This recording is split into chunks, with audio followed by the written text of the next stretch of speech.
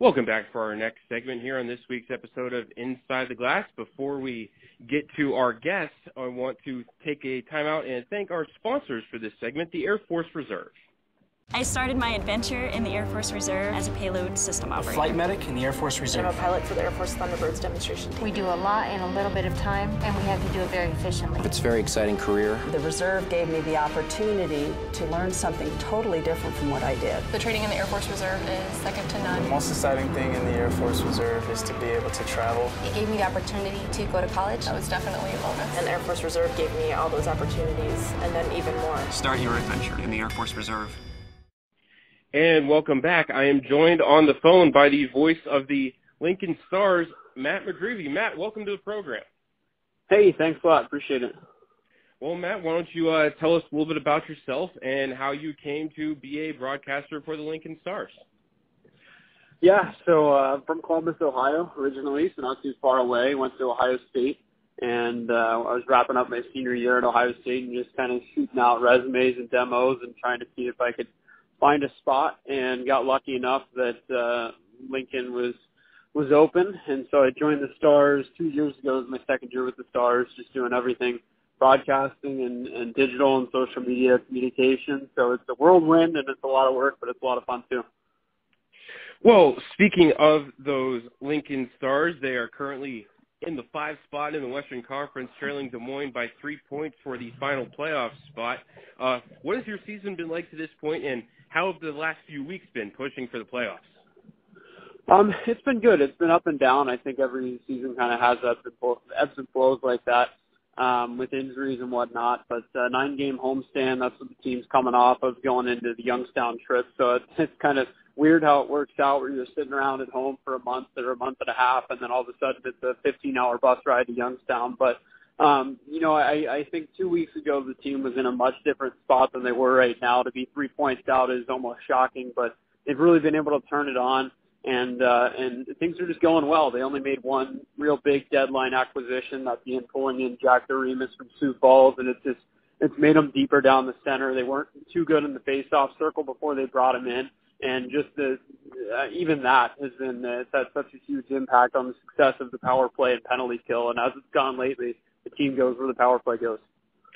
If I recall, uh, Jack DeRemus from when Sioux Falls was in uh, Youngstown earlier this season, he cleaned up on the Phantoms in the faceoff circle. So I will second your uh, your analysis there. Uh, who are the Stars' uh, other top offensive players?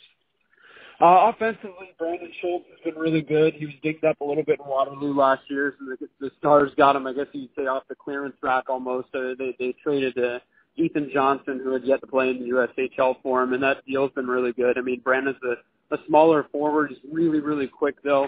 Um, so if you put pucks in good areas, he's usually going to get to him, and if he doesn't bury it, he's going to at least be able to create some offense.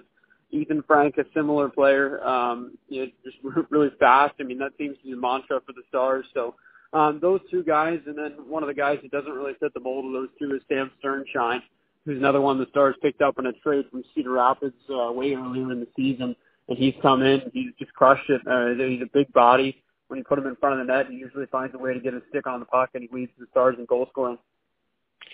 Just so I don't screw up his name, uh, your goaltender won the USHL CCM Goaltender of the Week award for his performance this past weekend. Uh, can you tell us a little bit about him and maybe clue me in on how to pronounce that last name? Yeah, so it's actually really easy. Uh, Joseph Korenar, uh, he's a Czech goalie, first year in the league, uh, draft eligible goalie for the second year. So um, he came in, and it was kind of the the conversation was the Stars were going to have really good goaltending with him and Cayden Primeau, and they had. Um, those two are kind of flip flopping starts for the most part. Now, finally, it looks like Joseph Korenar's got the edge. He's had the last four consecutive starts and he was outstanding last weekend, obviously being goalie of the week, getting a 3-2 win against Tri-City and then a shutout against Madison. So uh, he's just been reliable. Um, he's not, you know, off the ice. He's really quiet. I think his English is better than he thinks it is, but um, it's odd. He, he just really doesn't talk much. I think with a lot of European players, you're like, well, they don't talk much because they don't know the language. But then there's some guys where you're just like, that's just kind of the guy he is. He's just quiet. He goes about his business, and it is what it is. So uh, yeah, that Joseph Korenar's been good though. You mentioned uh, the play from last weekend, and I also, I guess, I'll point out that Korenar uh, third in the USHL in goals against average, if I'm not mistaken. Yeah, yeah, he's been uh, up there all year. And so you mentioned those two games last weekend. Uh, can you tell us a little bit more about the uh, the two games that Lincoln won last weekend?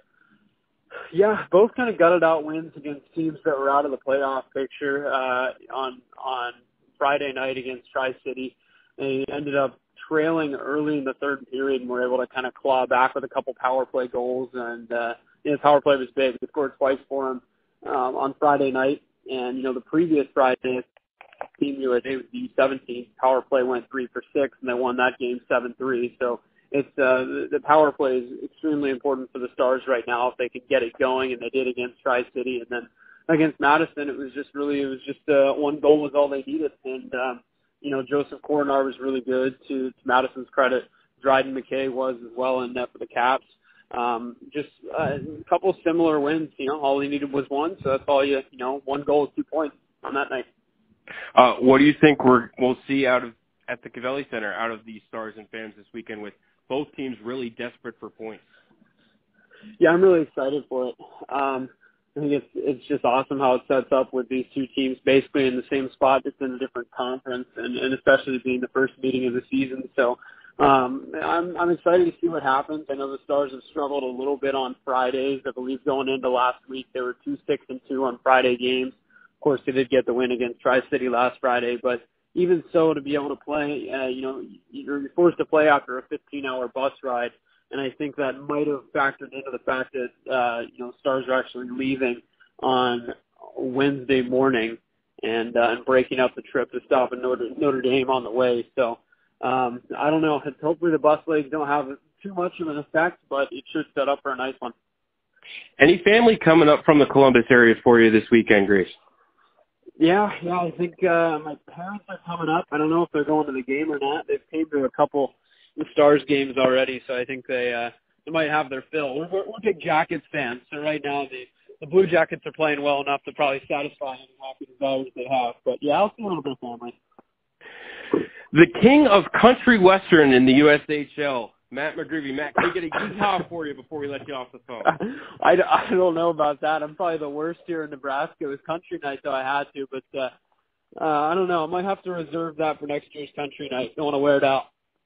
All right. Well, Matt, thank you so much for joining us here on Inside the Glass. We look forward to seeing you on Friday. All right. Thanks so much. Appreciate it. And fans, don't go away because coming up in our next segment, we will have this week's alumni report. Thank you so much to the Air Force Reserve for sponsoring this segment.